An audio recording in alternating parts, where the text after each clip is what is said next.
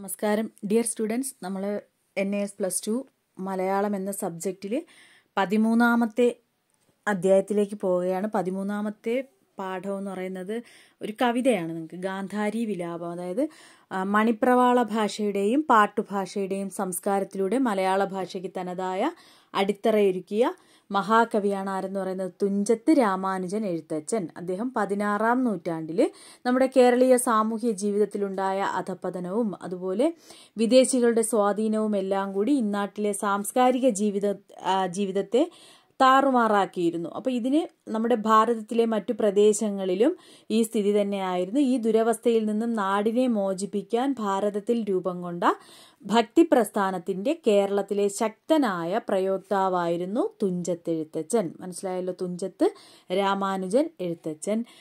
അതുപോലെ ഭക്തി പ്രസ്ഥാനത്തിന്റെ അതിന്റെ പാരമ്യത്തിലെത്തിക്കുന്നതിനും കേരളത്തിൽ നിലവിലുണ്ടായിരുന്ന ഭാഷാ വ്യത്യാസങ്ങളെ അവഗണിച്ച് എല്ലാവർക്കും സ്വീകാര്യമായ ഒരു ശൈലി ഭാഷാ ശൈലി തന്നെ മെനഞ്ഞെടുക്കാനും കഴിഞ്ഞു എന്നതാണ് അങ്ങനെയുള്ളിടത്താണ് എഴുത്തച്ഛൻ പ്രാധാന്യം അർഹിക്കുന്നത്. മനസ്സിലായല്ലോ? വേദവ്യാസന്റെ ഒരു ലക്ഷത്തി ഇരുപതിനായിരം ശ്ലോകങ്ങളുള്ള മഹാഭാരതം എന്ന സംസ്കൃത ഇതിഹാസത്തെ മലയാളത്തിൽ സ്വതന്ത്രമായി ആവിഷ്കരിച്ചതാണ് എഴുത്തച്ഛന്റെ മഹാഭാരതം കിളിപ്പാട്ട്. മനസ്സിലായല്ലോ? വേദവ്യാസന്റെ ഒരു ലക്ഷത്തി ഇരുപതിനായിരം ശ്ലോകങ്ങളുള്ള മഹാഭാരതം എന്ന സംസ്കൃത ഇതിഹാസത്തെ നമ്മുടെ മലയാളത്തിൽ എന്ത് ചെയ്തു? സ്വതന്ത്രമായി ആവിഷ്കരിച്ചതാണ് മഹാഭാരതം കിളിപ്പാട്ട്. ആരാണ് ആവിഷ്കരിച്ചത്? എഴുത്തച്ഛൻ. അപ്പോൾ അദ്ദേഹം അദ്ദേഹത്തിന്റെ അതായത് രസഭാവാദികളിലും മറ്റും പ്രത്യേകം ശ്രദ്ധിച്ചുകൊണ്ട് മൂലകൃതിയിലെ അപ്രധാന ഭാഗങ്ങളെ സംക്ഷേപിച്ചും ചിലപ്പോൾ ഉപേക്ഷിച്ചും അതായത് പ്രധാന ഭാഗങ്ങളെ ഒരുപാട് ശോഭിപ്പിച്ച് പ്രകാശിപ്പിച്ചും ഒക്കെ എഴുത്തച്ഛൻ രചിച്ച മഹാഭാരതം കിളിപ്പാട്ട് അദ്ദേഹത്തിന്റെ കവിത്വ സിദ്ധിക്ക് നിദർശനമാണ്. ഇനി മഹാഭാരതം കിളിപ്പാട്ടിലെ സ്ത്രീ പർവം ഇനിയാണ് നമ്മൾ പാഠഭാഗത്തേക്ക് വരുന്നത്. മഹാഭാരതം കിളിപ്പാട്ടിലെ സ്ത്രീ പർവത്തിൽ നിന്നും എടുത്ത എടുത്തു ചേർത്തിട്ടുള്ളതാണ് ഗാന്ധാരി വിലാപം എന്ന പാഠം. എവിടെ നിന്നെടുത്തതാണ് മഹാഭാരതം കിളിപ്പാട്ടിലെ സ്ത്രീ പർവം അതിൽ നിന്നും എടുത്തു ചേർത്തതാണ് ഗാന്ധാരി വിലാപം എന്ന പാഠം. കുരുക്ഷേത്ര യുദ്ധത്തിന് ശേഷം കുരുക്ഷേത്ര യുദ്ധത്തിന് ശേഷാനന്തരം എന്ന് പറഞ്ഞാൽ അതിനുശേഷം യുദ്ധഭൂമി സന്ദർശിച്ച ഗാന്ധാരി യുദ്ധക്കെടുതികൾ കണ്ട് വേദനയും പ്രതിഷേധവും നിറഞ്ഞ ഹൃദയത്തോടെ ശ്രീകൃഷ്ണനോട് പ്രതികരിക്കുന്നതാണ് പാഠസന്ദർഭം. മനസ്സിലായല്ലോ? ആര് ആരോട് ഓർത്ത് വയ്ക്കുക? ഗാന്ധാരി യുദ്ധഭൂമി കണ്ടിട്ട് കുരുക്ഷേത്ര യുദ്ധത്തിന് ശേഷം ആ യുദ്ധഭൂമി കണ്ട ഗാന്ധാരി യുദ്ധക്കെടുതികളൊക്കെ കണ്ട് ഭയങ്കരമായി മനം വേദനിച്ചിട്ട് പ്രതിഷേധിക്കുന്നതാണ് ആരോടാണ് ശ്രീകൃഷ്ണനോട്? മനസ്സിലായല്ലോ? അതാണ് നമ്മുടെ പാഠസന്ദർഭം. ഗാന്ധാരി വിലാപം എന്ന് പറഞ്ഞാൽ തന്നെ അറിയാലോ ഗാന്ധാരിയുടെ വിൽ കരച്ചിൽ അപ്പോൾ കരുണരസത്തിന് മുൻതൂക്കം കൊടുക്കുന്നതാണ് ഈ സന്ദർഭം. കുരുക്ഷേത്ര ഭൂമിയിൽ മരിച്ചു കിടക്കുന്ന അവരുടെ പുത്രന്മാരെയും ബന്ധുമിത്രാദികളെയും കണ്ട് ഓരോന്ന് പറഞ്ഞ് എന്ത് ചെയ്യുന്നു? ദീനദീനം വിലപിക്കുന്ന നമുക്കറിയാലോ ഇങ്ങനെ പുലമ്പിക്കൊണ്ട് കരയുന്ന ഭയങ്കരമായിട്ടുള്ള ഗാന്ധാരി ഇങ്ങനെ എന്താണ് സങ്കടം സഹിക്കാൻ വയ്യാതെ ഇങ്ങനെ ശാപവാക്കുകളൊക്കെ ചെയ്യുന്നതാണ് അങ്ങനെ ഒരു ഗാന്ധാരിയുടെ ചിത്രം ഏതൊരു കഠിന ഹൃദയത്തെയും ആർദ്രമാക്കാൻ കഴിവുള്ളതാണ്. അപ്പോൾ പുത്രമരണത്താൽ മനം തകർന്ന ഒരമ്മയുടെ കഠിനമായ ദുഃഖത്തെ ഇതിൽ തുഞ്ചത്ത് രാമാനുജൻ എഴുത്തച്ഛൻ ഇതിലൂടെ എന്ത് ചെയ്യുന്നു? ഓജസ്സും കാന്തിയുമാർന്ന ശൈലിയിൽ ആവിഷ്കരിച്ചിരിക്കുന്നു. അപ്പോൾ ഗാന്ധാരി വിലാപം കുരുക്ഷേത്ര യുദ്ധഭൂമിയിൽ നിന്നുകൊണ്ട് ആ യുദ്ധം നടന്നതിന് ശേഷം ഗാന്ധാരി ശ്രീകൃഷ്ണനോട് തന്റെ ദുഃഖവും അമർഷവും ഒക്കെ അറിയിക്കുന്ന. വേദനയോട് കലർന്ന സംസാരമൊക്കെയാണ് ഈ പാഠഭാഗം. അപ്പം ഞാൻ വീണ്ടും ഓർമ്മിപ്പിക്കേണ്ടല്ലോ നമ്മുടെ ചാനൽ എല്ലാവരും സബ്സ്ക്രൈബ് ചെയ്യുക അല്ലേ? നിങ്ങൾ സബ്സ്ക്രൈബ് ചെയ്തും അതുപോലെ തന്നെ നിങ്ങളുടെ അഭിപ്രായങ്ങൾ കമൻസിലൂടെയൊക്കെ അറിയിക്കുക.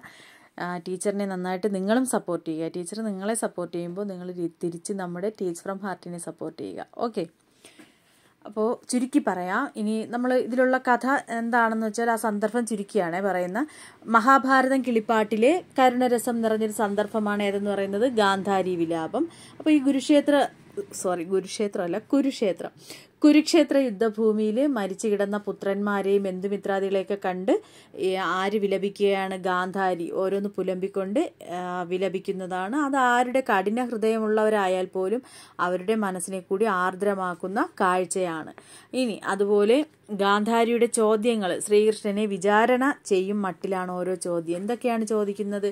ഹേ കൃഷ്ണ നീ കണ്ടില്ലേ? ഈ ഭൂമിയിലുണ്ടായ രാജാക്കന്മാരിൽ പ്രധാനിയായ ഭഗദത്തൻ അർജുനനെയ്ത് അമ്പേറ്റ് തന്റെ കരിവീരന്റെ സമീപം വില്ലുമായി ഭൂമിയിൽ ചോര പുരണ്ട് കിടക്കുന്നതെന്ന് നീ കാണുന്നില്ലേ എന്ന് കൃഷ്ണനോട് ആര് ചോദിക്കുകയാണ്? ഗാന്ധാരി ചോദിക്കുകയാണ്. അതുപോലെ ആ രംഗം എന്ന് പറയുന്നത് ഗാന്ധാരിക്ക് സഹിക്കാൻ കഴിയുന്നത് ആയിരുന്നില്ല. അപ്പൊ ഇതിനെല്ലാം കാരണക്കാരനായ ഈ യുദ്ധത്തിന് തന്നെ കാരണക്കാരനായ ശ്രീകൃഷ്ണനോട് കൗരവ മാതാവ് കൗരവരുടെ അമ്മ തന്റെ സങ്കടം അറിയിക്കുന്നു. മനസ്സിലായില്ലേ? അതുപോലെ തന്നെ അഭിമന്യുവിനെ എന്തിനോടാണ് ഉപമിക്കുന്നത്? വിശിഷ്ടമായിട്ടുള്ള മരതകക്കല്ലിന് തുല്യം. ഇത് വളരെ പ്രധാനപ്പെട്ട ഒരു പാഠമാണ് കേട്ടോ. ഗാന്ധാരി വിലാപം. ഇതിൽ നിന്ന് ഒരുപാട് ക്വസ്റ്റ്യൻ ആൻസറുകളും ഉണ്ടാവാറുണ്ട്. ചോദ്യങ്ങൾ നിങ്ങൾക്ക് ചോദിക്കാറുണ്ട് മലയാളത്തിന് എന്തിനോടാണ് ഉപമിച്ചിരിക്കുന്ന മരതകക്കല്ലിനോടല്ലേ? അതായത് വിശിഷ്ടമായ മരതകക്കല്ലിന് തുല്യം മനോഹാരിതയുള്ള അതായത് ഭംഗിയുള്ള മംഗളസ്വരൂപനും കുമാരനുമായ അഭിമന്യു മരിച്ചു കിടക്കുന്നത് ആര് കാണുകയാണ്? ഗാന്ധാരി കാണുകയാണ്. അപ്പോൾ കീർത്തി കേട്ട അർജുനന്റെ പ്രിയപ്പെട്ട പുത്രനും നിന്റെ മരുമകനുമല്ലേ ഈ അഭിമന്യു? അതായത് അഭിമന്യു എന്ന് പറയുന്ന ആരാണ്? ശ്രീകൃഷ്ണന്റെ സഹോദരിയായ സുഭദ്രയ്ക്ക് സുഭദ്രയുടെയും അർജുനന്റെയും പുത്രനാണ് അല്ലേ അഭിമന്യു? അപ്പോൾ അതും നീ കാണുന്നില്ലേ? അതുപോലെ തന്നെ ചോദിക്കുകയാണ് ഹേ വല്ലഭി വല്ലഭ ഗോപിക രമണ നീ എന്തുകൊണ്ട് അവനെ കൊല്ലാതെ കാത്തു സൂക്ഷിച്ചില്ല നീ ഭഗവാനാണെന്നാണല്ലോ പറയുന്നത്. പിന്നെ എന്തുകൊണ്ട് നീ കൊല്ലാതെ കാത്തു സൂക്ഷിച്ചില്ല. അല്ലെങ്കിലും ആളുകളെ കൊല്ലിക്കുകയാണല്ലോ നിനക്ക് രസകരമായിട്ടുള്ള പ്രവൃത്തി എന്നൊക്കെ ഇങ്ങനെ ആരെ പഴിക്കുകയാണ് ശ്രീകൃഷ്ണനെ? ഗാന്ധാരി പഴിക്കുകയാണ്.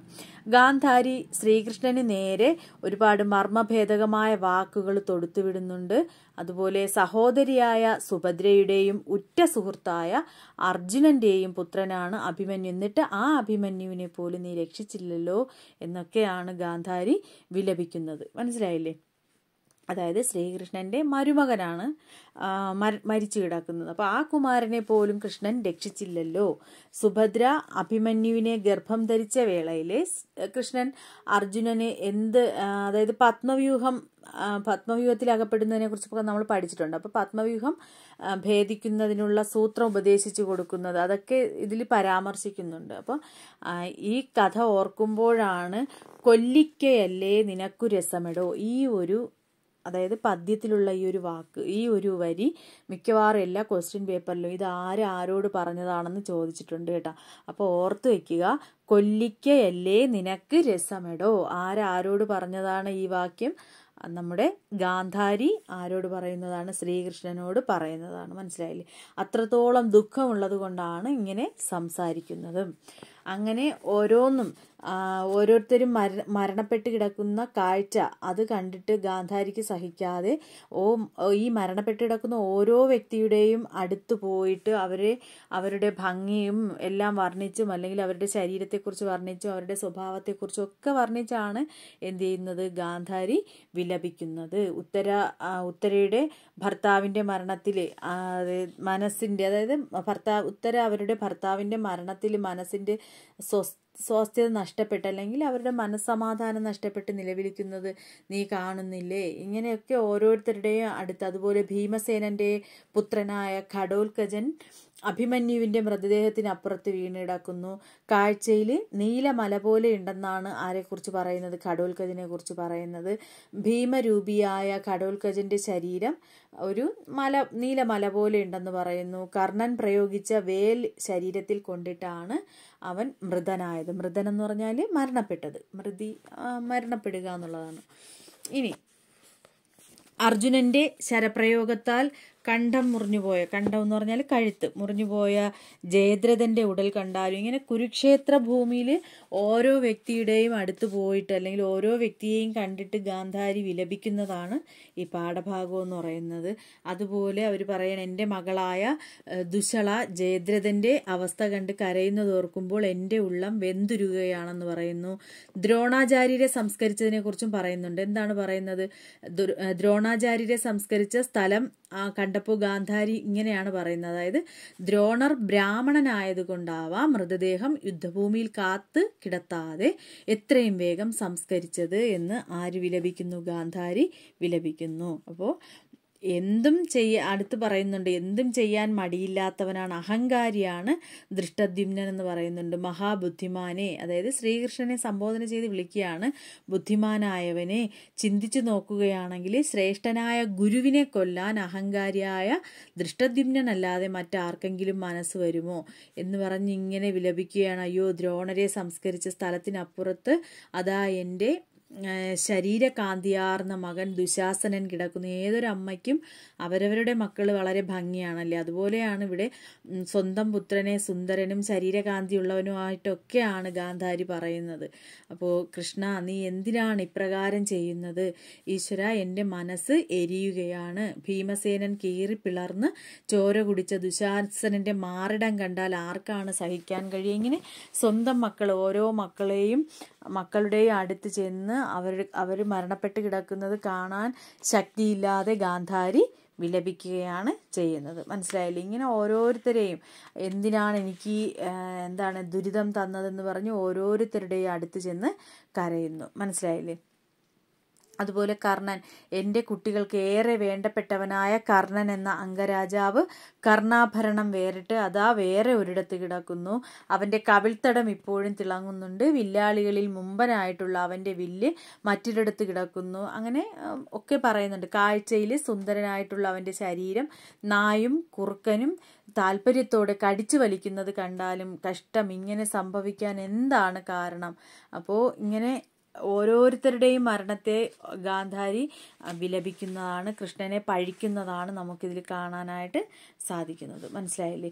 ഇനി അതുപോലെ തന്നെ എന്ത് പറയുന്നുണ്ട്? ഇതിനെല്ലാം കാരണക്കാരൻ ഈ സമ്പൂർണ നാശത്തിന് കാരണക്കാരനായിട്ട് പറയുന്നത് ദുർബുദ്ധിക്കാരനായിട്ടുള്ള ശകുനി. ശകുനിയുടെ ശരീരം പക്ഷികൾക്ക് ആഹാരമായി തീർന്നിരിക്കുന്നു. ശകുനിയെ നമുക്കറിയാമല്ലേ മഹാഭാരതത്തിലെ ഏറ്റവും എന്താണ് കൗശലം നിറഞ്ഞൊരു കഥാപാത്രമാണ്. അപ്പോൾ ആ കാഴ്ച ശ്രീകൃഷ്ണന് ഹിതമായിരിക്കുമെന്നും ഗാന്ധാരി സൂചിപ്പിക്കുന്നു. ആര് കൊത്തിവലിക്കുന്നു കഴുകൻ ശകുനിയുടെ ശരീരം.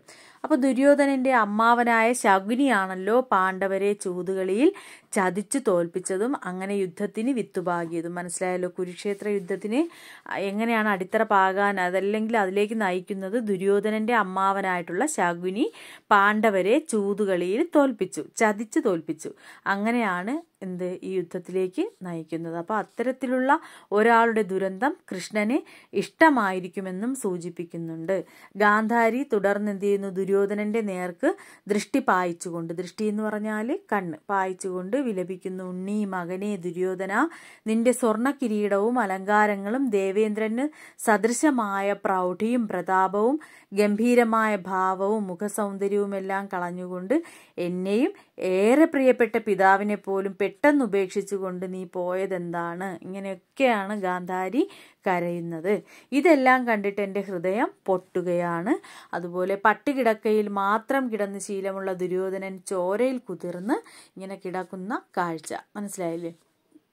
അപ്പോൾ മരിച്ചു കിടക്കേണ്ടുന്ന അവസ്ഥ വന്നല്ലോ എന്നൊക്കെയാണ് ഗാന്ധാരി കരയുന്നത്. അതുപോലെ വർദ്ധിച്ച കോപത്തോടെ ഇവിധം കിടക്കുന്നത് എനിക്ക് കാണാൻ വയ്യ എന്ന് പറഞ്ഞുകൊണ്ട് കരഞ്ഞുകൊണ്ട് ഗാന്ധാരി ആ രംഗം അവിടെ വിട്ട് ഓടുന്നു നിലത്ത് വീണു ഉരുളുന്നു അല്ലേ? നമുക്ക് ചിന്തിക്കുന്നതിനും അപ്പുറമാണ്. ഒരു അമ്മയുടെ സങ്കടമാണ് നമുക്കിവിടെ. ആരോടാണ് ഈ ചോദ്യങ്ങളെല്ലാം ഉന്നയിക്കുന്നത്?